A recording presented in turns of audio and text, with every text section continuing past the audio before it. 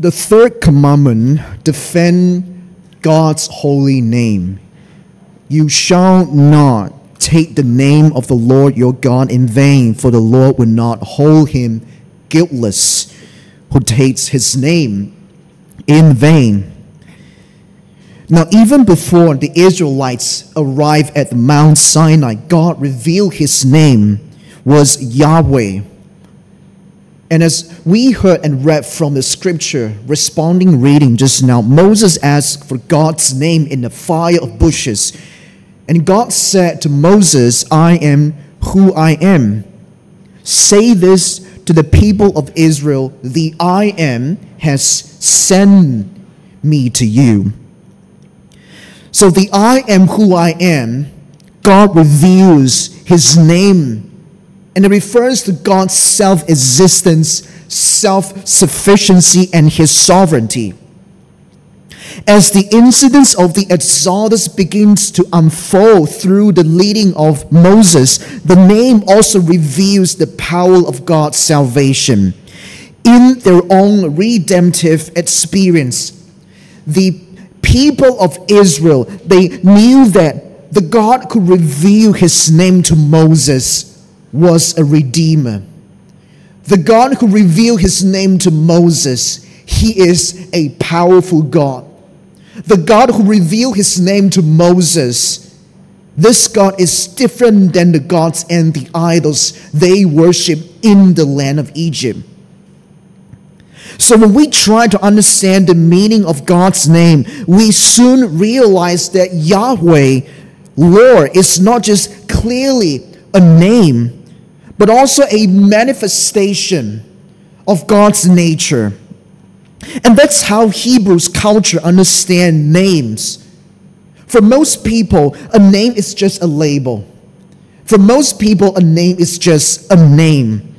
Something we must have, but not an identity of who we are. But for Hebrews, name is inseparable from their identity. So when we use God's name, we are referring to his divine attributes.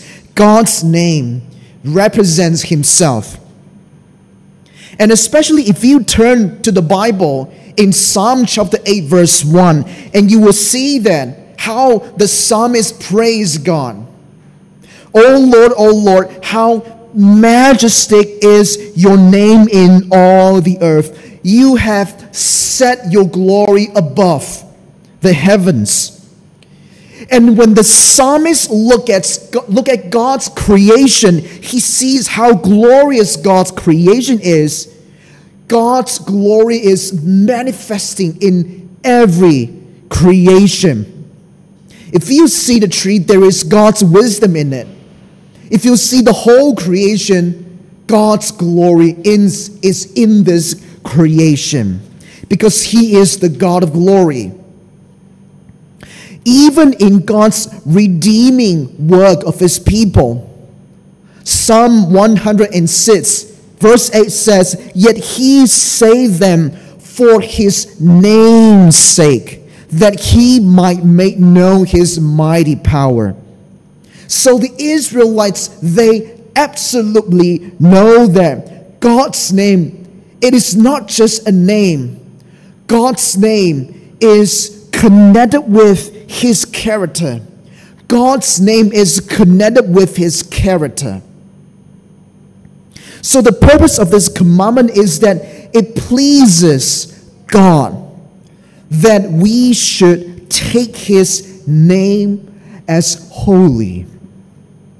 And in short, we are not to blaspheme the name of God in an ungodly manner.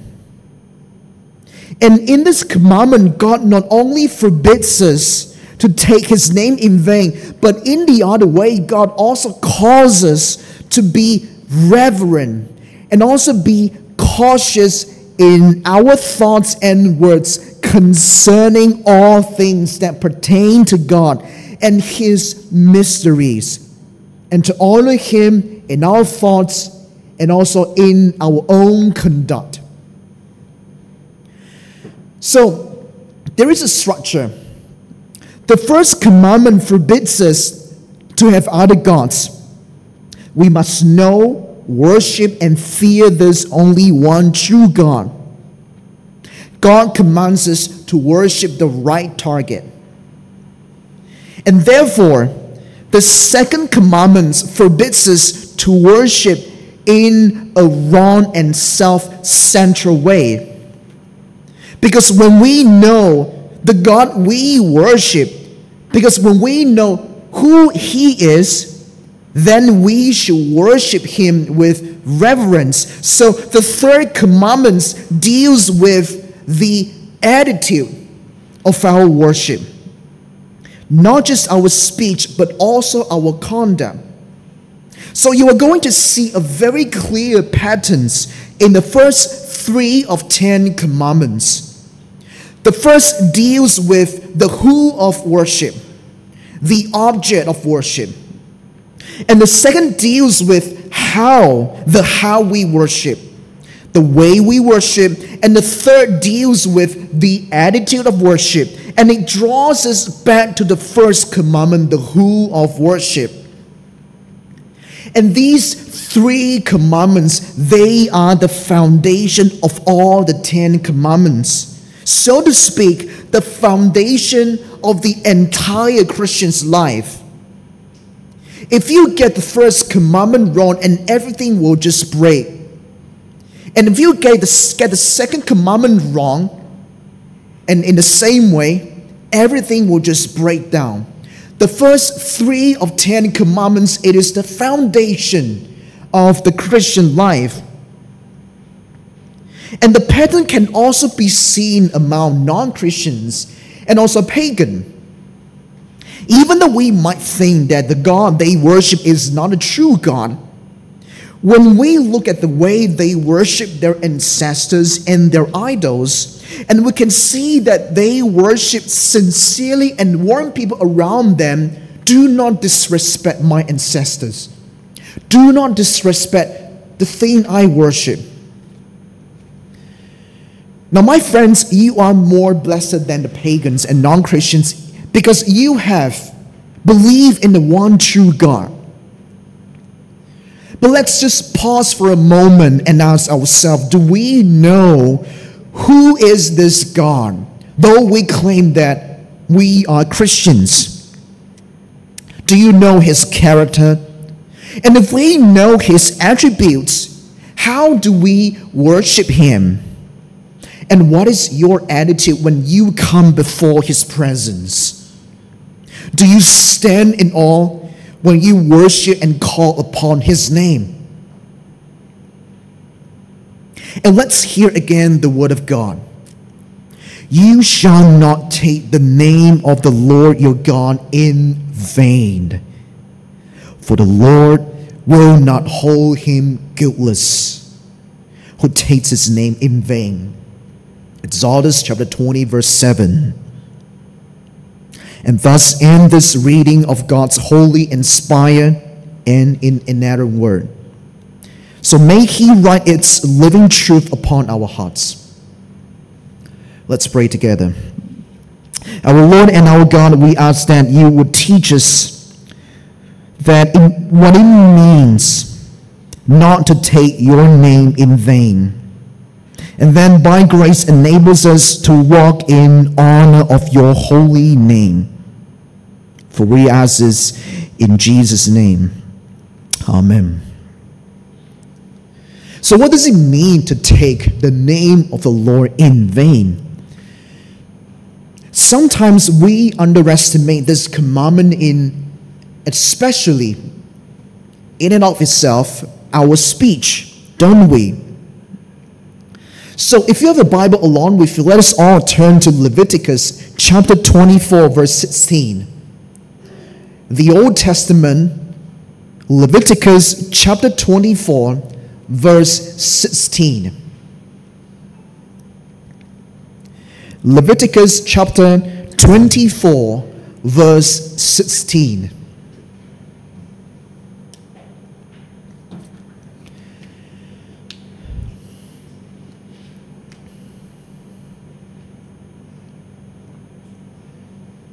And the Word of God says in this way, and I'll be reading in the ESV versions Whoever blasphemes the name of the Lord shall surely be put to death. All the congregation shall stone him, the sojourner as well as the native, when he blasphemes the name, shall be put to death. Now, again, as we have just learned in the introduction of the Ten Commandments in Sunday school, this is the civil law for the nation of Israel. But as we have said, the civil law is no longer valid in the age of the New Testament. The parallel for us would be church discipline, not public execution, stoning them to death. Now, but this portion clearly shows us the severity of this sin. Even the sojourner was liable to punishment. Whether you were the member of Israel in those days, or maybe you were just a visitor or native born, it was to be understood that when you step in their land, the name of the Lord is holy, and no one shall take his name in the casual manner. Now, here's the thing God does not forbid us to use his name. Some conservative Jews have gone so far with the third commandment that they simply never call God by his name to avoid misuse. But that is not God's intention. God's holy name is found everywhere in the Old Testament, and He reveals His name so that we can call on Him personally and increase our affection and love for Him. God does not forbid us to use His name, but He forbids us to abuse His name. God forbids the careless, thoughtless, reckless expression of his name as if God doesn't care at all. Or if he doesn't exist at all. If we treat God's name as worthless when we know it carries a deep meaning, we are diminishing and blaspheming his holy name. But what does it mean to take the name of God in vain? And we can look at it in three perspectives. First is making false vows in the name of God. And it is common for people to use the phrase, I swear, 我发誓, I swear, swear to God. And people will use the name of God to prove that what they say is true, in effect, making God their witness. Have you have some similar experience when you have the conversation with your friends or with your families? And when you have a really rough conversations and the other opponents they just bring throws out the word, I swear to God, God says this to me. And you have no choice but to believe that sentence since you bring God into our conversation. But if a person vows in God's name and tells the lie, then there is a problem. This is lying. And they steal God's holy name and make people believe something that is wrong. Again, Leviticus chapter 19, verse 12 says, You shall not swear by my name falsely, and so profane the name of your God. I am your, I am the Lord. And we need to understand then it is permissible to make a lawful vows and oath. So, again, if you have a Bible along with you, let's turn to Deuteronomy chapter 23, verse 31. Deuteronomy chapter 23, verse 31. Deuteronomy chapter 23, verse 21.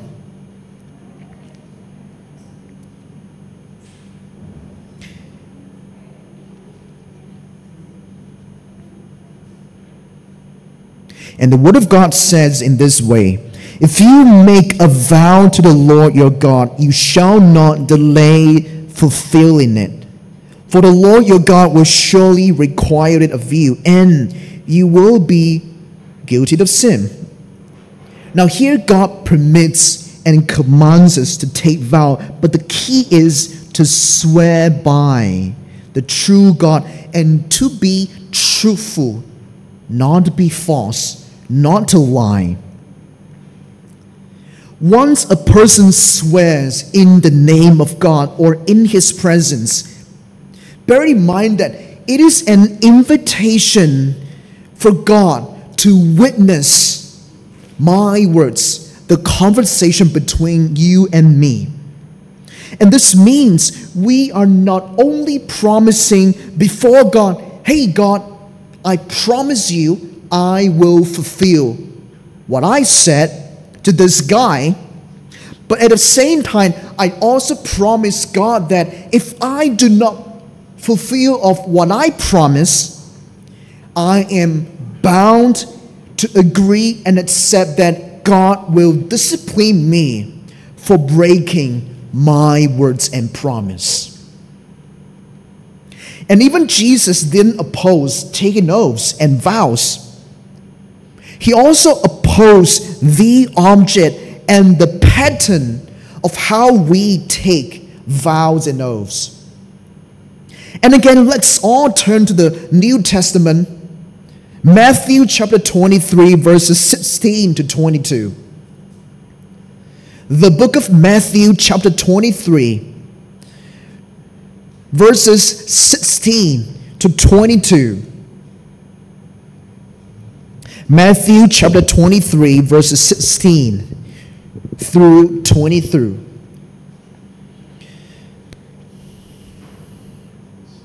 Now, here's how Jesus says about taking vows and oaths. Woe to you, blind guides, who said, If anyone swears by the temple, there is, it is nothing. But if anyone swears by the goal of the temple, he is bound by his oath. You blind fools, for which is greater, the goal or the temple that has made the goal sacred? And you said, If anyone swears by the altar, it is nothing. But if anyone swears by the gift that is on the altar, he is bound by his oath. You blind man, for which is greater the gift, or the altar that makes the gift sacred. So whoever swears by the altar swears by it and by everything on it. And whoever swears by the temple swears by it and by him who dwells in it. And whoever swears by the heavens swears by the throne of God and by him who sits upon him, and so on. But here is the problem. In Jesus' day, those Jewish rabbis and Pharisees created another swearing, vowing system that completely undermined the purpose of vowing an oath. And from the teachings of the Pharisee, they say that you don't need to take vows in the name of God. And some vows were not even necessarily binding. It all depends on how you take vows and who or what you vow to.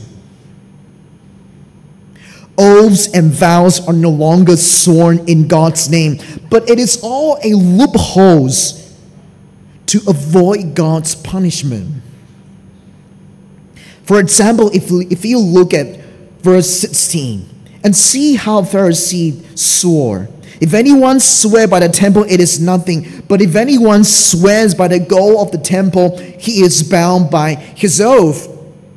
The oath you swear by the temple does not count, but the oath you swear by the goal of the temple does. That's the loophole of taking vow. But Jesus said, no matter who or what you are vowing to, you are taking oath in the presence of God and also in His name. Because if someone vows by the heaven, the heavens are God's throne. So you are vowing to God. If someone vows by the earth, Jesus says, the earth is God's footstool, so you are vowing to God. And if someone vows by Jerusalem, Jesus says that God is the king in, of the city. So, in this way, you are vowing to the king of Jerusalem. Even if we vow by our hair, bodies, we are still vowing to God because He is the God of our head and body. He is the God who sustains our life. And we can say even more and more. And whether you vow to anyone else, you are indirectly vowing to God and inviting Him to be your witness. Because everything is connected to God. Most importantly, it is already a wrong way and pattern to vow to creation itself. So, in other words, if you cannot commit in doing something, if you don't have a full picture of something, don't try to use God's name to convince people to believe. That's a sin. Second, define God's name in the name of God. And we can look how we often define God's holiness in three ways. And first of all, it occurs in our prayer sometimes. And not only we need to avoid some showy prayers, but we also need to avoid sloppy prayers. And sometimes our prayers can be completely empty phrases. And sometimes we pray even in the thoughtless way. And I will hear some prayer like this Dear Father, thank you for dying on the cross for me. And dear Jesus, thank you for sending the Father into the world to be born in the world. Something like this. Or we will be just so quickly say the grace at the table, something like this Dear God, thank you, amen. Done. Now, the problem is not a short prayer. The problem is that sometimes a lot of prayer seems to be thoughtless, too careless by simply toasting out the name of God without a right attitude, without con- even consider what we are praying. And secondly, we also need to avoid using God's name as curse or jokes, making fun and jokes about him. People nowadays curse God when things gets wrong and use the name of Jesus as an exclamation. Especially in movies, even non-Christians, even atheists often curse God, though they don't believe God exists. As Christians, we need to be careful with our words and most Christians, I believe, will probably not be too rude, but will probably at least express their emotions in a mild way. For example, God damn it. Gosh darn it. Oh my God, good Lord.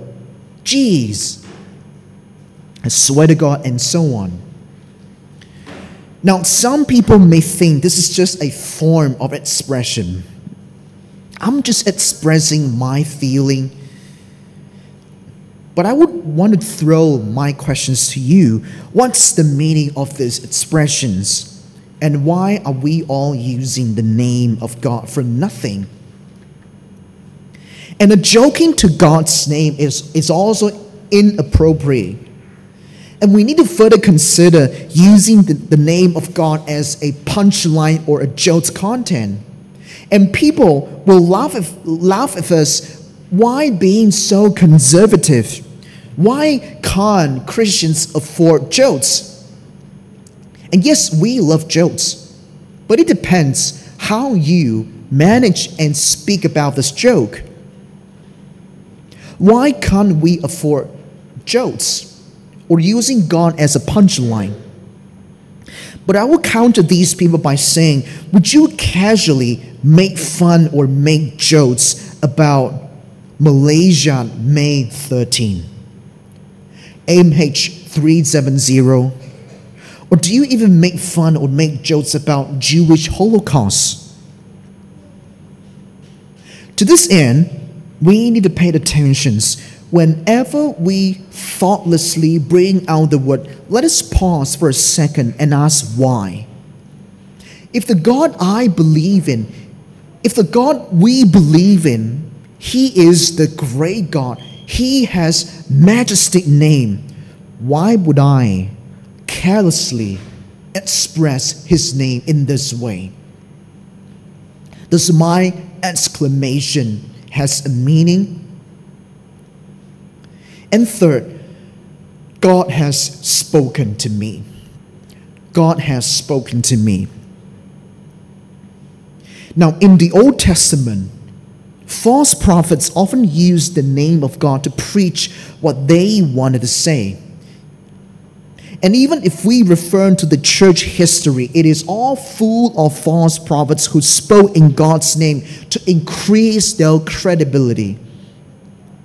From the Crusades to slave trade in America, from politics to social organizations, the leaders of these events would say, God has spoken to me, so you shall listen to support their position.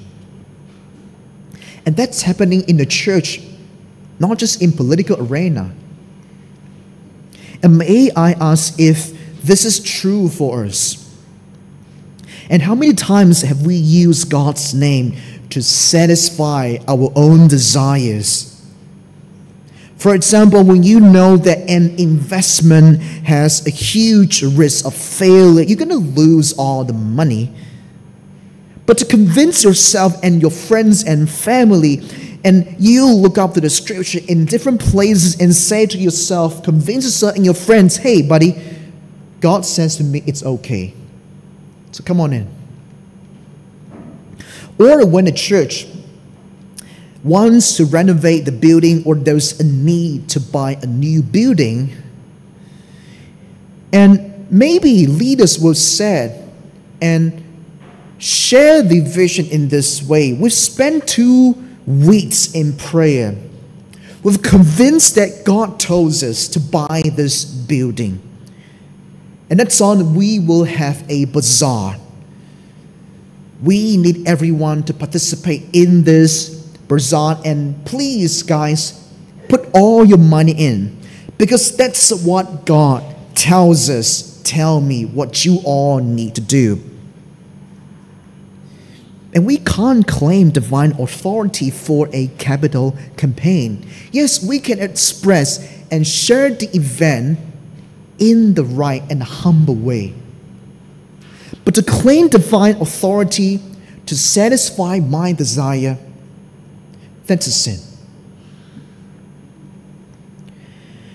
Third way, failure to practice the Word of God, though we claim his name, though we praise his name, though we call upon his name every time. If you have a Sunday bulletin, you can refer to what Thomas Watson said. And the Puritan Thomas Watson said sharply and rightly, and he said, when men's tongues and lives are contrary to one another, when under a mask of profession they lie and cozen and are unclean. They make use of God's name to abuse him and take it in vain. Listen to the last word. Pretended holiness is merely double wickedness. Strong word. Now, when we think about our approach to worship, whether it be congregational worship, public worship, or whether it be our private life, other than the worship service, the most common things that happen is that we get absent minded when we worship or when we look at the Word of God. And yes, we can be sympathized and we can recognize that we are easily get distracted. But that doesn't mean that we can't pay attention to the hymns we sing, the scriptures we read, or the sermons we hear. And sometimes we care nothing about the words we sing, we hear, and we read. Most importantly, we sin every time we stain the name of God by which we call. The church has too little fear of God and little reverence before His majesty. God is considered insignificant because we never take Him seriously. Maybe we are reading the Word of God, but our minds are on another things. Maybe we are singing the hymns, but we don't know what we are singing. Singing. Maybe we come before God, open your Bible in your private worship or public worships, but we don't recognize His glory and honor. And our attitude of worship is casual and insincere, and in so doing, we dishonor the name of God, though we always call upon the name of God. Remember one incident 2000 almost 2000 years ago a group of people praise and welcome Jesus. They call him the king and they send Hosanna blessed is he who comes in the name of the Lord. And the atmosphere it was full of praise, joyful moment People stand hand in hand, shoulder to shoulder, welcome this king to this land. And after five days later, the same people shouted, Crucify him. They took his name in vain, though five days ago they praised Hosanna Blessed is he who comes in the name of the Lord. If, if you and I would be honest, we blaspheme his name all the time. And it is possible to praise the name of God and memorize tons of his word, and we never really mean it in our hearts. even though the third commandment requires us not to misuse the name, but on the positive side, the, the third commandment also commands us to use God's name correctly. We are to hallow the name of God. And that reminds us of the Lord's Prayer Our Father who art in heaven, hallowed be thy name. And this is especially dedicated and set apart for a divine purpose. That is, God wants us to use His name only in worship and praise. There are many ways to use God's name properly. God's name can be praised, glorified, proclaimed, exalted, worshiped, and trusted. And the psalm teaches to sing the name, sing his glory. And it also teaches to bless his name. And elsewhere in the Bible teaches we need to call upon his name when we are in trouble or in ups and downs.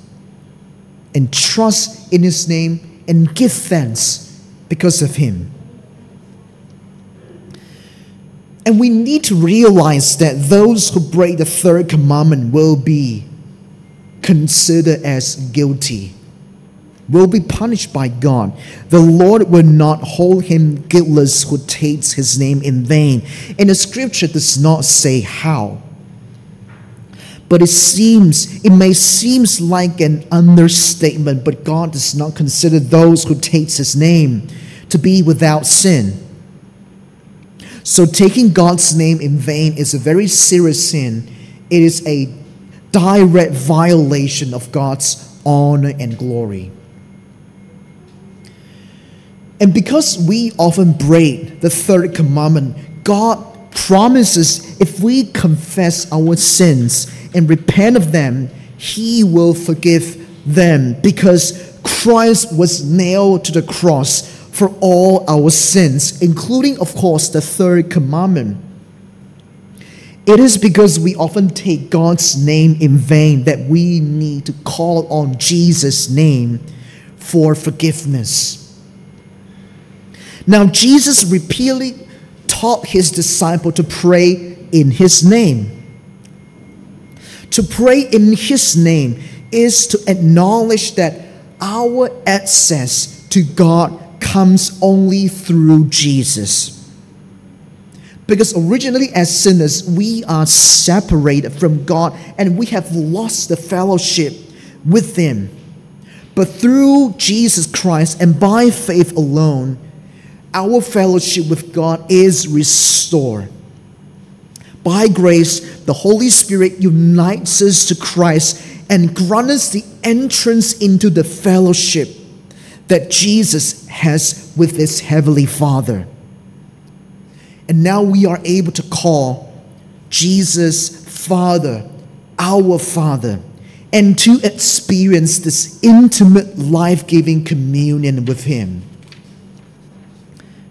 And when we consider our sinfulness and God's holiness, we can be discouraged from praying. And we might believe that God doesn't want to hear us because of our failures or because He is tired of hearing us confess the same sins over and over again.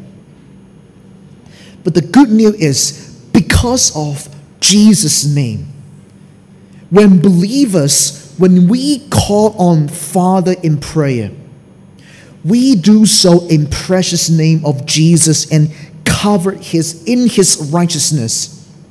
And when the Father listens to our prayers, he delights to answer anyone who calls on his name in the name of his Son.